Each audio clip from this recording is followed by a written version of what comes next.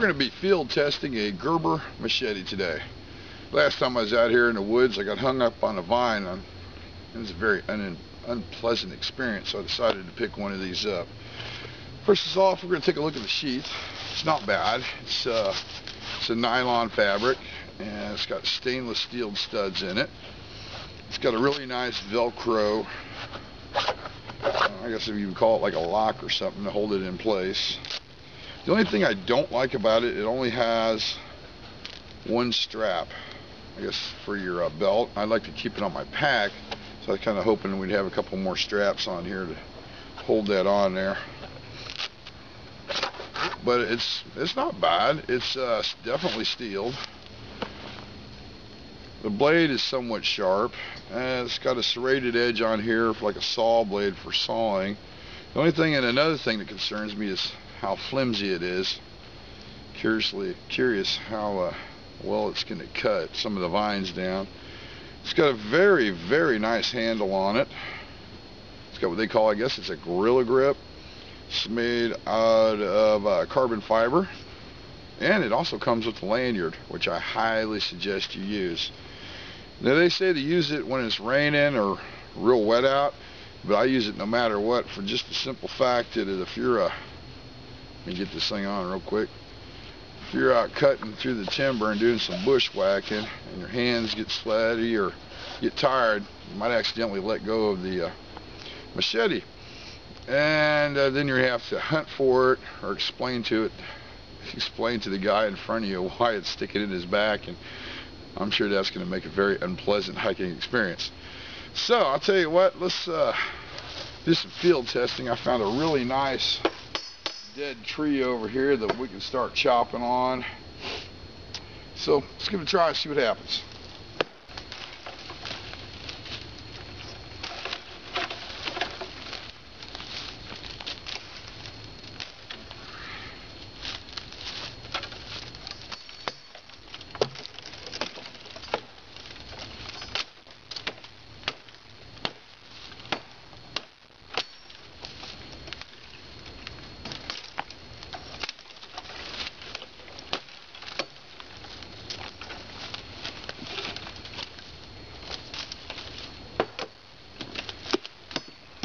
let's start with this piece.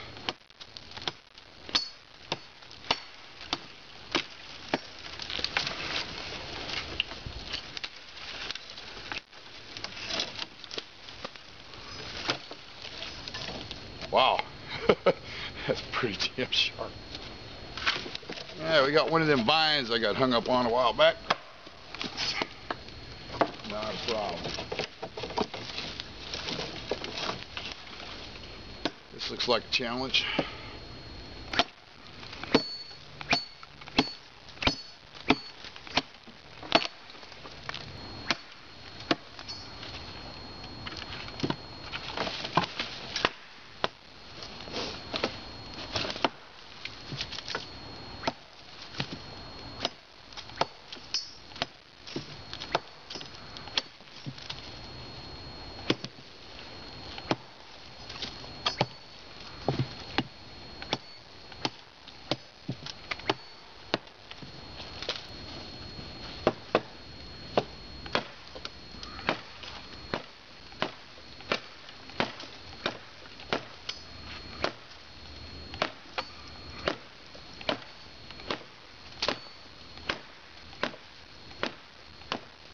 You know what? Let's try the saw portion of this, see how that does. Yep, definitely. We're going to try the saw portion out.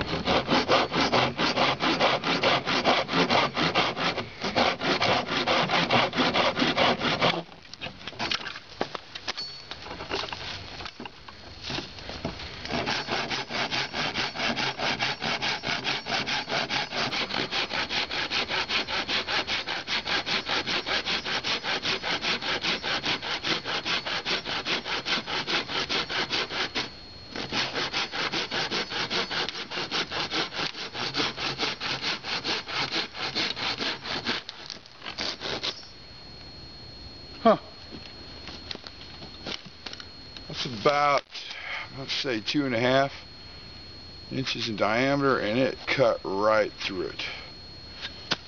I'll be damned. Here's a vine.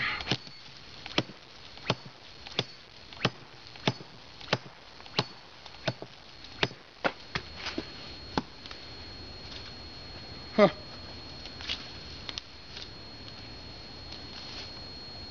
Let's go ahead and try this vine.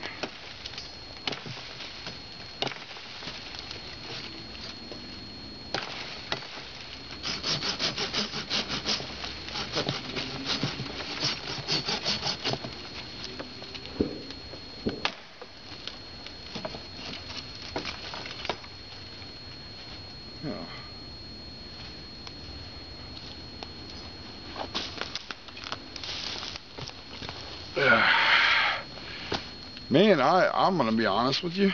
I'm really impressed. The flimsiness of the blade didn't affect the performance at all. The saw is just sharp as hell. And the blade's sharp too, and we've been beating on the trees.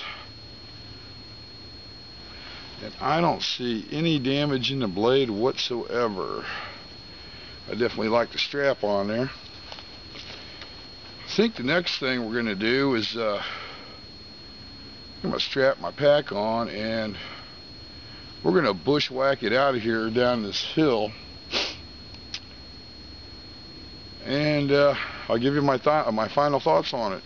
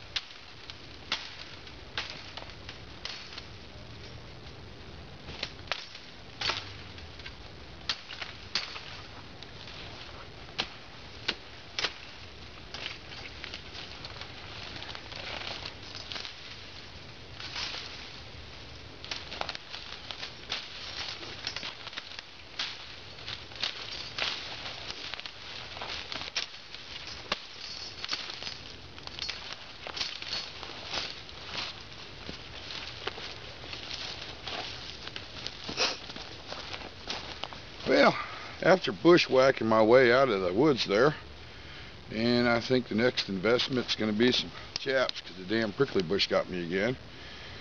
I'm going to give you my final opinion on opinion on the Gerber machete. I thought the flimsiness of the blade would uh, hurt the product, but didn't seem to uh, affect it at all. I found that if you cut towards the edge of the blade right here, you get a better control of it and a deeper cut. Uh, the saw, very sharp. The handle had a great grip on it.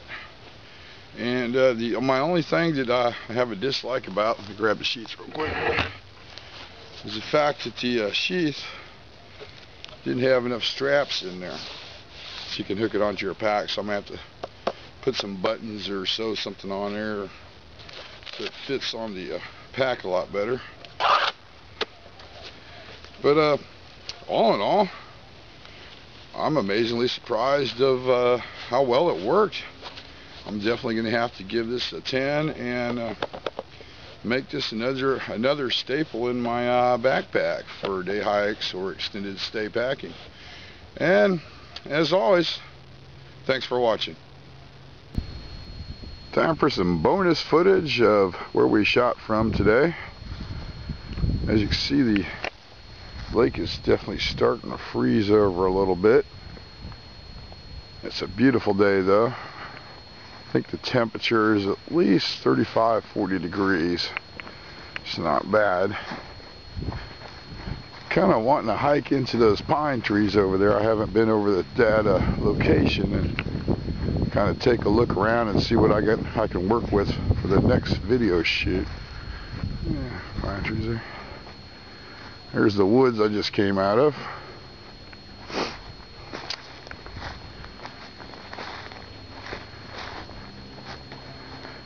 Pat, Cameron, you're all in all, I say I've had a great day of shooting.